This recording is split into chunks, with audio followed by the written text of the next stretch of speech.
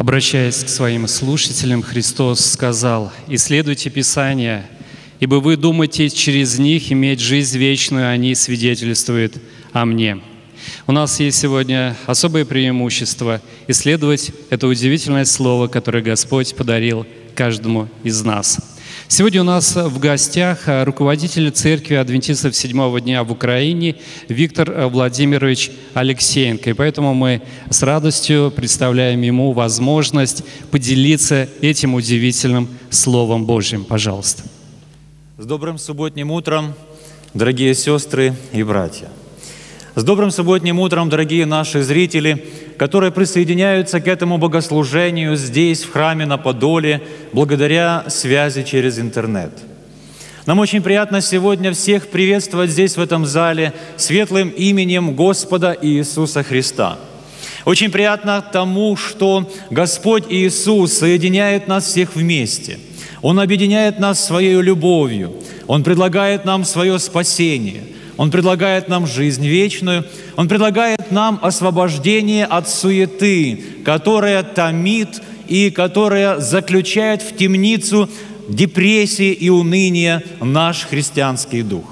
И Иисус Христос предлагает нам эту свободу. К сожалению, люди, которые живут в этом мире сегодня, зачастую не ощущают, как они со всех сторон окружены суетою и проблемами жизни – они привыкли к этому, и им кажется, что это естественное, нормальное течение обстоятельств. Вы знаете, однажды один молодой человек пришел к учителю с такими словами. Он промотал все унаследованное им состояние. И как часто бывает в подобных случаях, оставшись без гроша, он обнаружил, что также лишился и друзей. Не зная, что делать, что предпринимать, в отчаянии он рассказал об этом одному учителю и спросил его, что со мной теперь будет? У меня нет больше ни друзей, ни денег. Не переживай и помни, ответил учитель, с тобой будет все хорошо. В глазах молодого кутилы вспыхнула надежда, огонек какой-то жизнерадостности зажегся, и он спросил, «Я что, снова стану богатым?» «Нет», — ответил учитель, — «ты просто привыкнешь к состоянию безденежья и одиночества». Дорогие друзья, этот мир привык уже к тому состоянию, в котором он находится. Мир привык к тому, что его со всех сторон окружают суета, переживания и проблемы. К сожалению, к такому состоянию зачастую привыкают и члены церкви. И поэтому сегодня – мне бы хотелось обратить внимание на ту личность, которая предлагает нам освобождение от этой привычки, которая предлагает нам освобождение от этого состояния, которая предлагает нам спасительную уверенность в Господе нашем, в нашем Боге. Обратите внимание на первую главу книги Евангелия от Матфея, на стих 21. Это известный текст который сегодня является продолжением благой вести, которая была явлена в свое время миру. Иисус Христос здесь предсказан как рождающийся и несущий освобождение. «Родит же сына, и наречешь ему имя Иисус, ибо он спасет людей своих от грехов их». Иисус Христос родился в этот мир как ответ Бога на проблемы, которые в этом мире совершились.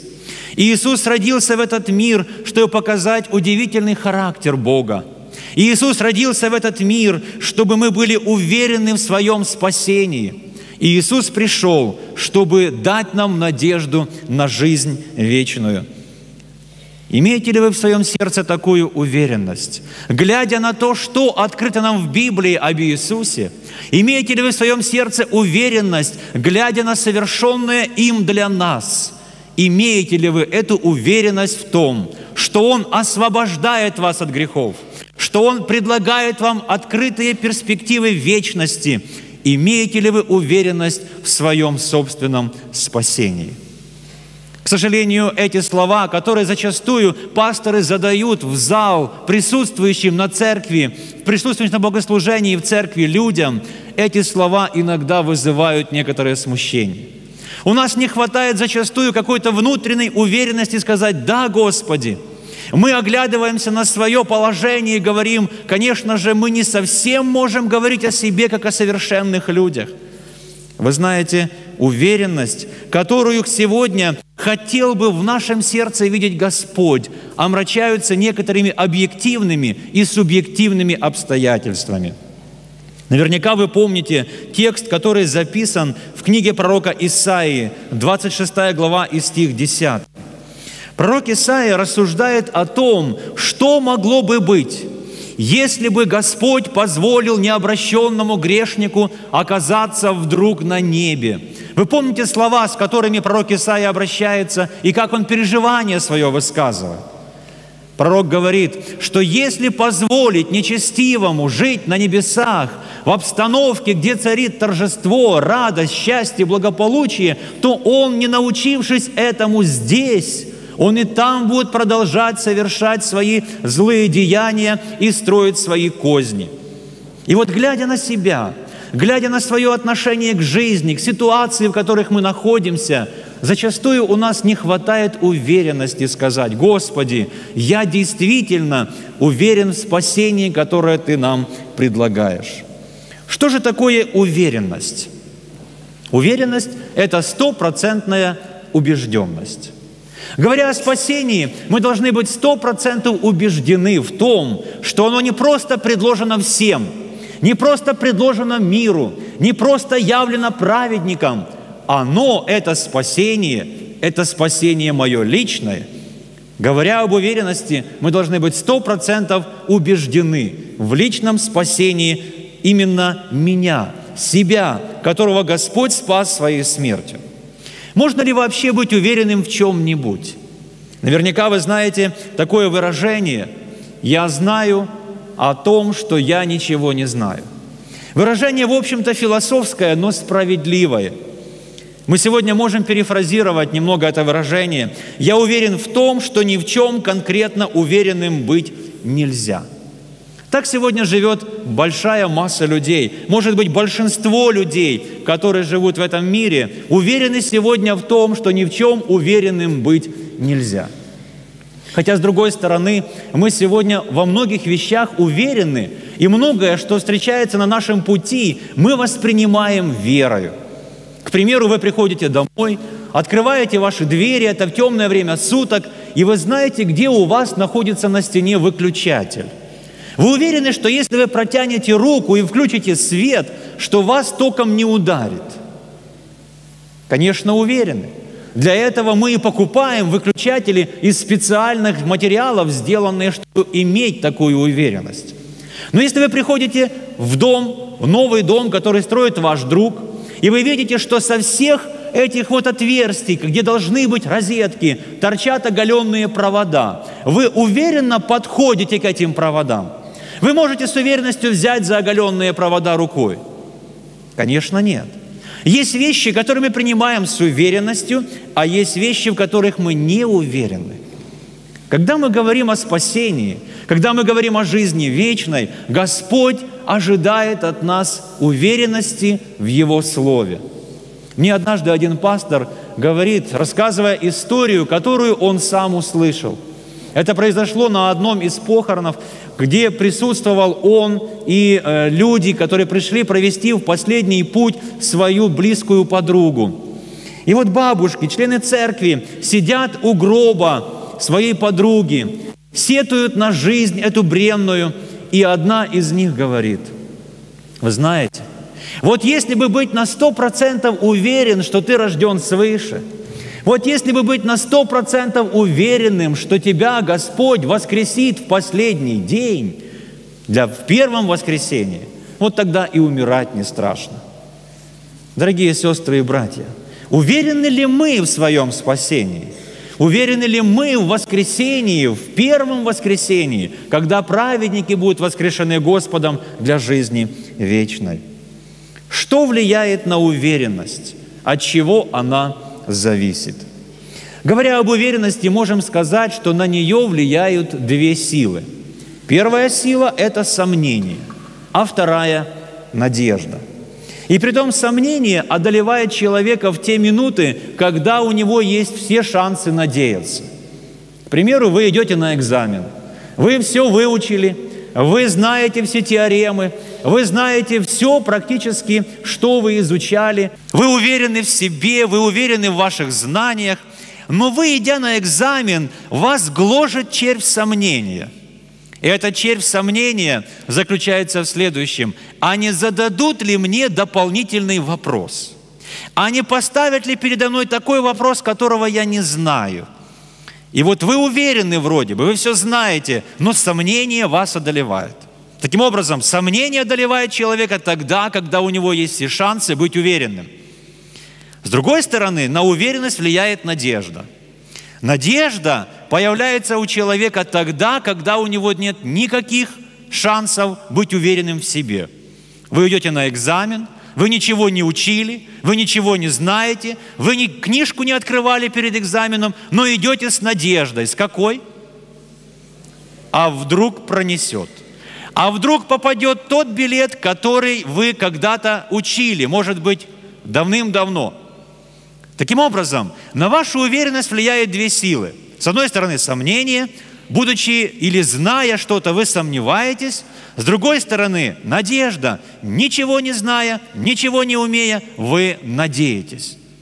Скажите, пожалуйста, можно ли назвать уверенностью, что одно состояние, что второе? Можно ли назвать уверенность уверенностью состояние, когда вы или сомневаетесь, или беспочвенно надеетесь? В христианском мире – когда нам задают такие вопросы, иногда мы действительно, имея шансы на уверенность, сомневаемся. Не имея никаких шансов на уверенность, надеемся. Господь пытается в нашем сознании изменить саму парадигму нашего отношения к уверенности, изменить вообще восприятие нами, что такое уверенность. Итак, хочется сказать о том, что у меня с детства – отложилось некоторое представление о том, благодаря чему мы с вами можем приобрести спасение. Я не знаю, никогда меня этому не учили. Вот так просто доктринально в моем сознании это не отлагалось. Но всегда как-то мне казалось, что для того, чтобы человек приобрел спасение, он должен раскаяться во всех грехах своих. У вас не было такого ощущения, отношения к спасению – мне почему-то казалось так с детства, никто меня этому не учил, но мне казалось, что если я в каком-либо грехе не раскаюсь, если я не принесу Господу покаяние мое за какой-то грех, то этот грех не пустит меня пройти в жизнь вечную. Но вот такое было у меня представление. Мне так казалось. Где-то складывалось представление, что Господь имеет свои книги, в которых Он ведет записи – и там, напротив моей фамилии, отмечаются все мои добрые и плохие дела. А потом, когда я прошу у Бога прощения, то за исповеданный грех, грехи исповеданные отмечаются красной галочкой. А неисповеданные грехи также и остаются записанными в этих книгах. И мне думалось, что если я не исповедуюсь во всех своих грехах, то эти грехи не дадут мне права быть уверенным в спасении. С другой стороны, опять же, мне казалось так, никто меня этому тоже не учил, что если я не приобрету характера такого, как у Иисуса Христа, то я тогда не смогу быть в Царстве Небесном. Потому что обязательно, конечно же, все должны, претендующие на жизнь вечную, приобрести христоподобный характер. И вот это вот состояние, когда я сравнивал себя с этим моим представлением о том, как быть уверенным в Боге – когда я сравнивал себя, мои неисповеданные грехи, где-то, может быть, забытые, где-то пропущенные, с моим характером, который, конечно же, на Христа был не похож, все это внушало во мне какой-то страх неуверенности, страх сомнения, страх опасения – Дорогие сестры и братья, что должны делать мы сегодня, как люди, изучающие тексты Священного Писания, где говорится о том, что Христос пришел освободить нас от этой неуверенности? Читая слова, которыми апостол Павел обращается к Тимофею, где он говорит так, «Подвигом добрым я подвязался, течение совершил, веру сохранил, а теперь готовится мне венец жизни, который даст мне Господь. Кто из вас может сказать похожие слова, сказав, я течение совершил, то есть путь мне назначенный, я веру сберег, я все сделал, а теперь мне Господь готовит венец жизни. Конечно же, хочется об этом сказать с уверенностью, но где-то, возможно, те опасения, которые и меня тревожили, и вас они тревожат. Можем ли мы так сказать, как сказал апостол Павел в послании к Коринфянам? Он говорит, я уже хотел бы водвориться у Господа, потому что жизнь с Господом для меня приятней намного, чем жизнь без Него. Даже жизнь с Ним, но здесь она тоже омрачена печалями, и мне хотелось бы, я уверен, что Он меня там примет. Все эти тексты, они вызывают в нас некоторое смущение. Можем ли мы говорить о себе? Не будет это дерзостью, если мы так уверенно о себе скажем. Что необходимо знать? Что необходимо помнить? На что обращает наше внимание Священное Писание? Во-первых, нам необходимо, говоря об уверенности в спасении, необходимо, говоря о нашей вечности, необходимо разделить в нашем сознании такие понятия, как дар и вознаграждение, когда мы говорим о спасении. Если эти понятия не будут разделены в нашем сознании, если где-нибудь наше сознание будет, тем не менее, водимо мыслью, что спасение – это вознаграждение – никогда уверенности в нашей жизни не будет в том, в чем мы хотим быть уверенными. Но если мы вдумаемся в слова, которые в Священном Писании написаны, красиво открыты, что наше спасение – это не вознаграждение, а это дар, вот тогда мы обретаем все шансы быть уверенными в Господе. Посмотрите, пожалуйста, что говорит апостол Павел в послании к Ефесянам, 2 глава и стих 8. Он рассуждает об этом достаточно серьезном вопросе и проливает красивый свет на эту проблему. И он говорит, «Ибо благодатью вы спасены через веру, и сие не от вас». И красивое заключение – это Божий дар. Спасение – это Божий дар. С другой стороны, и праведность которая необходима каждому человеку, чтобы войти в Царствие Господне. И праведность – это тоже дар Божий. Об этом говорит апостол Павел в послании к филиппийцам в третьей главе в стихе 9. Говорит он следующие слова. «И найтись в Нем, то есть в Иисусе, не со своей праведностью, которая от закона, но с той, которая через веру во Христа, с праведностью от Бога, по вере. Получается, что Господь нам дает спасение как дар и необходимое состояние праведности, которое будет оценено законом Господним на предмет действительной возможности пребывать там, в Царстве Небесном, и эту праведность тоже Господь нам дает. Красивая теория Священного Писания, которая должна стать практикой нашей жизни. Уверенность в Господе нашем, она исходит от нашего осознания, что спасение – это дар, и праведность от Бога – это тоже дар. Знаете, не так давно по телевизору увидел рекламу. Возможно, вы тоже ее видели. Идет молодая женщина по городу, ни о чем себе не думает, ничего не боится. Вдруг к ней подскакивает мужчина с каким-то приборчиком и спрашивает – Скажите, пожалуйста, а вы чистили зубы сегодня? Помните эту рекламу? И она ему отвечает, конечно. А вы уверены в том, что они у вас чистые? Конечно, уверены. А давайте мы вас проверим. Вот представьте себе ситуацию, когда бы к вам в городе подошли с таким предложением. Она соглашается смиренно, он проводит этим приборчиком по ее зубам и показывает, что у нее зубы абсолютно не соответствуют мировым стандартам.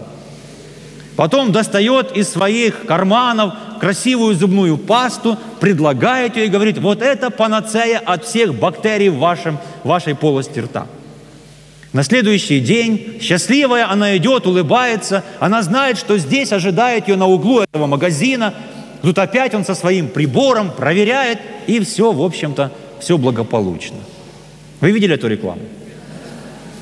Скажите, пожалуйста, если бы сегодня кто-нибудь подошел к вам с некоторым прибором, чтобы проверить ваши духовные зубы, в каком бы состоянии они оказались. Вообще, можно ли найти какую-нибудь духовную пасту, которой можно очистить, отскрести, отбелить наши духовные зубы? Вообще, возможно ли грешному человеку настолько чем-то помыться, чтобы стать праведным? Возможно ли это?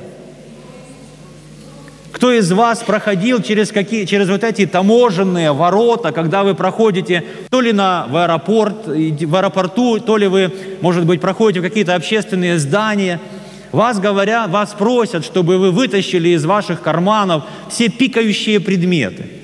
Вы кладете их на, столике, проходите, и тогда эти ворота вас пропускают беззвучно. Вы знаете, апостол Павел интересную вещь говорит в послании к римлянам. Он говорит – чтобы найтись в Нем, в Иисусе Христе, мы читали в послании к филиппийцам, не со своей праведностью, а с чем? С Его праведностью. А почему это так важно? А потому, говорит апостол Павел в одном из своих других посланий, что конкретно определять, пригодна ли наша праведность для жизни вечной, будет кто? Закон Господень. Вы посмотрите, что происходит. Господень закон, как вот эти вот ворота в аэропорту, Он будет определять, нет ли во мне никаких пикающих предметов греховных, которые меня могут не допустить к Царствию Божию. И Иисус Христос говорит, вот здесь вот тоже, обращаясь к нам, Он говорит, друзья мои, нет такой пасты, чтобы вас очистить. Нет таких ворот, чтобы вы могли пройти там, и ничего даже греховное не пикнуло в вашем сознании. Единственное, что может мне помочь, чтобы проверяли не мои зубы духовные, а Господа Иисуса. Чтобы закон измерял не мою праведность, а праведность Господа Иисуса – и вот когда Он мне предлагает жизнь вечную, когда Он мне предлагает спасение, когда Он мне предлагает его как дар и праведность свою как подарок, который я верою воспринимаю. Скажите, пожалуйста, что еще может становиться для меня препятствием, чтобы не быть уверенным в Иисусе Христе, в спасении, которое Он мне дает? Он спасение приготовил, и Он мне его дарит. Праведность свою предлагает, и я ее могу воспользоваться. Что может быть для меня еще препятствием, чтобы быть неуверенным. Вы знаете, дорогие друзья, сестры и братья, Господь, обращаясь к каждому из нас, говорит об этом очень красиво в Своем Слове. Я однажды присутствовал на одном интересном богослужении. Проводил евангельскую программу один из в свое время известных евангелистов Эдвин Бек. Он проводил эту программу в городе Житомире, и проводя в два сеанса, на первом сеансе он предложил интересный эксперимент. Он рассказывал собравшимся о том, что есть благодать Господня. Он рассказывал им о том, что есть Господень дар спасения. И вот для того, чтобы показать, что такое Божья благодать и спасение, он ходит по сцене, проповедует, достает из кармана. На то время это было 50 тысяч купонов, ну это где-то примерно 10 долларов на то время это было, достает из кармана эти деньги и предлагает собравшимся в зале, говорит, пожалуйста, вот я вам предлагаю, подойдите, возьмите эти 50 тысяч купонов. Наш народ, привыкший, что его всегда обманывают, и в это время тоже как-то сконфуженно, скованно себя ведет. Он ходит по сцене и говорит, я вам предлагаю, придите, возьмите, кто хочет – все переживают, чтобы не было никакого подвоха. И вот тут одна бабушка как-то с задних рядов, так бочком-бочком возле стенки подошла, подобралась, взяла у него и быстренько на свое место. И весь зал ахнул. Оказывается, можно было прийти и взять. Начинается второй сеанс. Я вижу, на передние ряды не пробиться. Передние ряды все заняты – заняты по той одной причине, что сейчас евангелист опять предложит 50 тысяч купонов, и вот здесь все начнется. И он очень мудро поступил. Он говорит, на прошлом сеансе, он говорит, у нас был такой опыт. На этом сеансе об этом опыте я вам только расскажу, потому что я уже вижу вашу готовность это спасение получить. Дорогие сестры и братья, Господь нам предлагает спасение.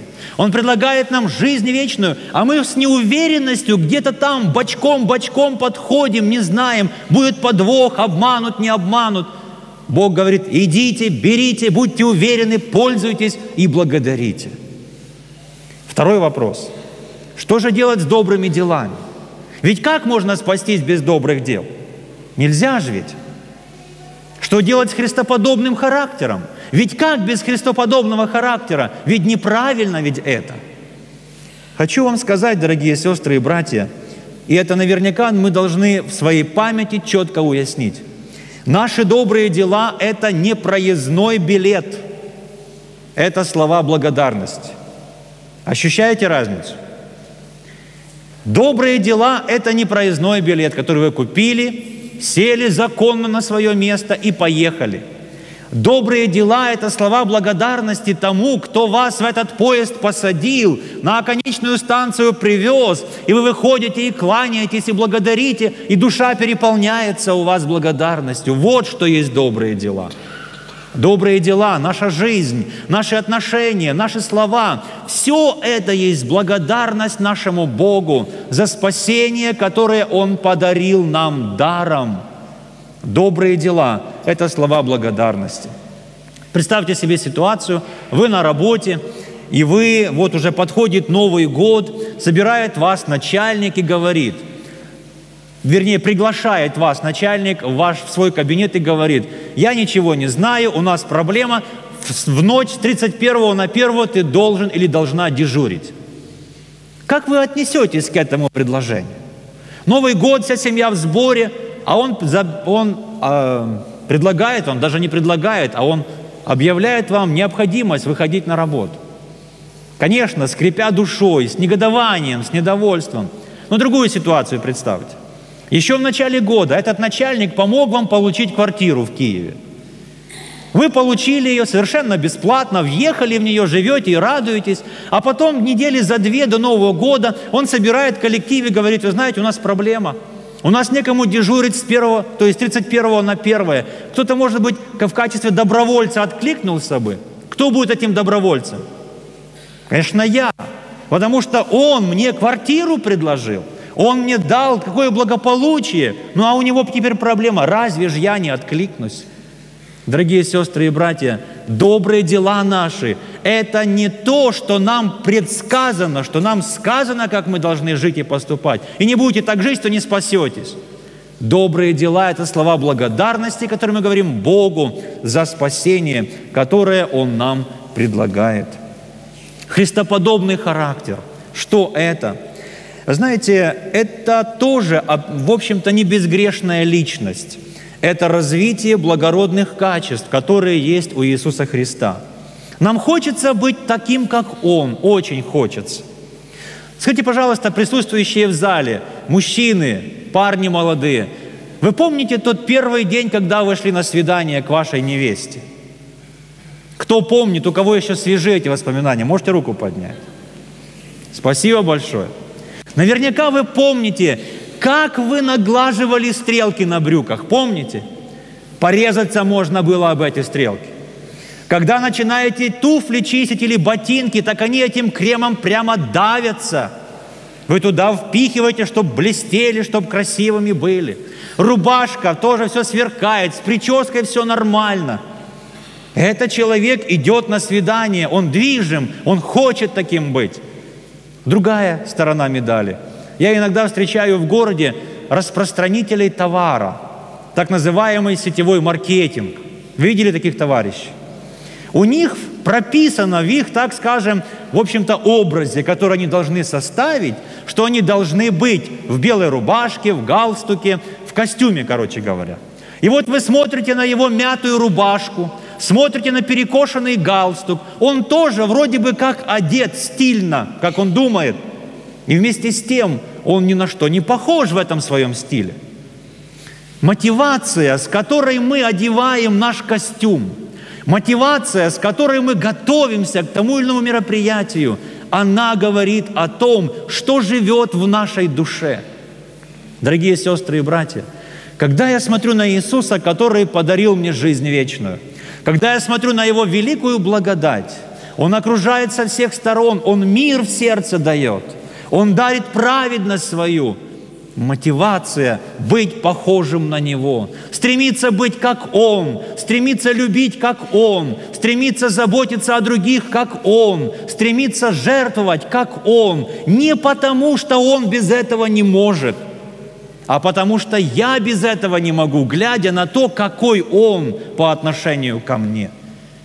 Разный совершенно подход, который нам сегодня, в Боге уверенным людям, необходим – для того, чтобы светить в этой жизни, светить и самому быть действительно уверенным в своем спасении. Мы остро нуждаемся в этом, в уверенности в своем спасении. И эта уверенность в спасении может стать нашей спасительной уверенностью от отчаяния, от разочарования, от депрессии и от уныния. Если вы купили билет на поезд, вы стоите на перроне, ожидаете поезда – Скажите, пожалуйста, вы очень переживаете, вот поезд приедет и вдруг вас не возьмет. Вот он по расписанию, вот уже его объявили, вот он уже идет. А вы стоите на перроне и дрожите. Возьмут, не возьмут, заберут, не заберут. Дрожите? Я лично нет. Если билет в кармане, чего бояться?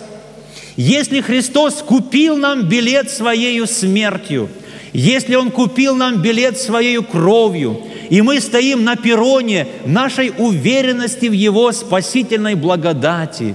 Неужели Он, придя в этот мир, не заберет нас с этого перрона туда, в те обители неба, в те райские перспективы и горизонты, которые нам открывает сегодня Господь. Здесь же, живя на этой земле, у нас должна быть наша работа, наше служение, служение как ответ – на Божье отношение к нам. Однажды решили провести конкурс, чтобы найти самого любящего и заботливого ребенка. Победителем стал четырехлетний мальчик, чей сосед, престарелый мужчина, недавно потерял свою жену. Когда мальчик увидел, что старик плачет, он подошел к нему во дворе, забрался на колени и просто сидел там. Когда мама потом спросила его, что он сказал дяденьке – Мальчик ответил, ничего, я просто помогал ему плакать.